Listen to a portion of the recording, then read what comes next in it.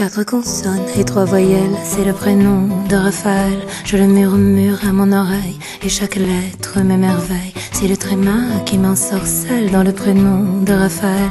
Comme il se mêle au A, au E, comme il les entremêle au L, Raphaël. A l'air d'un ange, mais c'est un diable de l'amour. Du bout des hanches et de son regard de velours. Quand il se penche, quand il se penche, mes nuits sont blanches et pour toujours. Hmm.